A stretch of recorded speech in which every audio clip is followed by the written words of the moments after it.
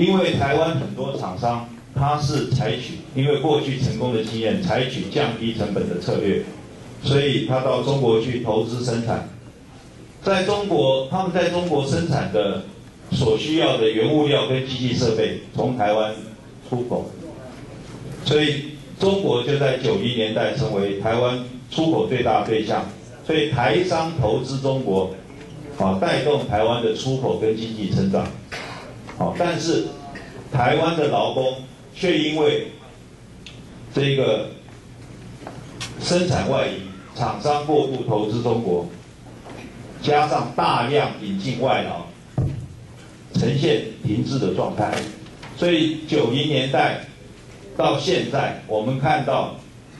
台湾经济会有成长，台湾出口会持续成长，但是。台湾的薪资所得，劳工的薪资所得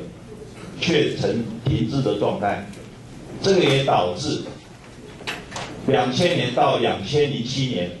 有百分之四十的家庭，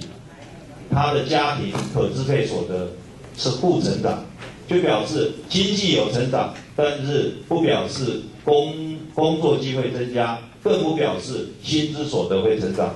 但是马英九。他并没有认识到九零年代的问题跟七零年代、八零年代台湾经济面临的问题不一样，所以他在一上台以后，他就迫不及待的开放十二寸晶圆厂，也不愿意有效管理产业的外移，让台湾更加依赖中国。当去年下半年台湾的景气开始衰退的时候，他又开始把台湾经济发展的重心、发展的目标摆在中国是台湾唯一的希望，希望中国观光客来台湾来救台湾的产业，希望中资来救台湾的股市，一切都是期待中国来解决台湾的问题。这个让台湾人民对台湾的经济更加没有信心。哦，所以马英九这种以中国为主体的全球化策略，让留在台湾的两千一百万人，我这边要强调，台湾的民为什么台湾近年来民间消费持续不振？哦，台湾民间消费不是去年才不好，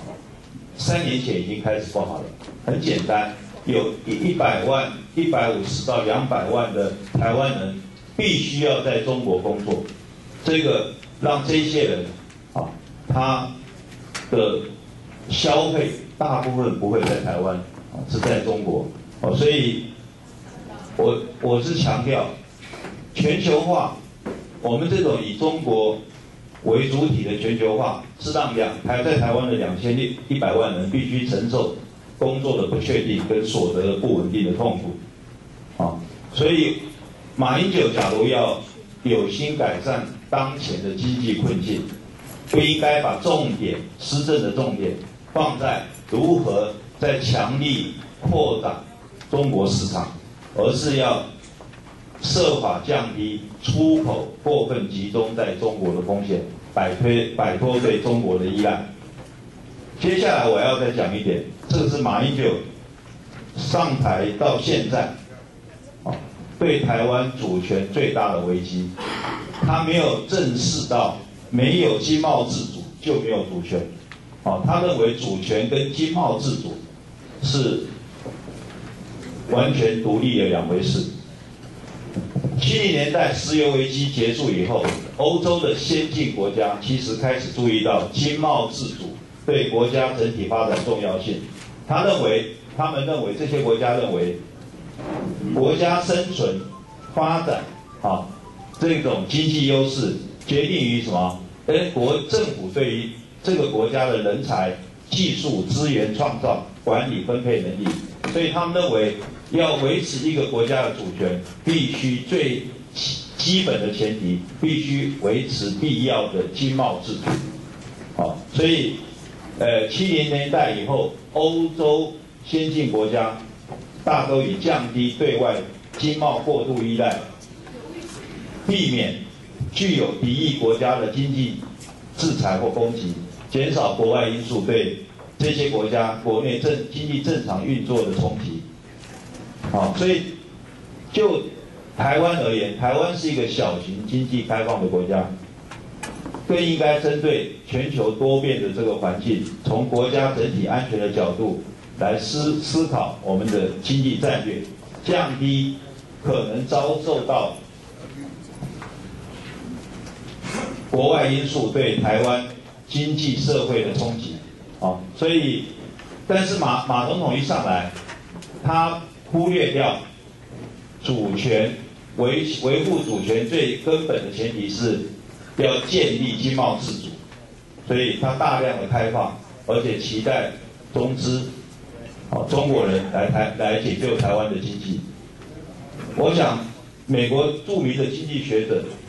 其政经学者 Hirschman，他在一九四五年很早就讲过，作为一个现代国家的领导人，他首要的工作是要确保国家生存与发展。好，他说要确保这国家与生存发展，你要领导的话，你除了要研读马基维里的经王论以外，更重要，你要运用一切有效的手段来维持经贸自主。啊，你这国家才能够。确保你的主权。我想最后，台湾假如在未来要让经济啊能够复苏，啊除了短期的各种措施以外，更重要，马政府要对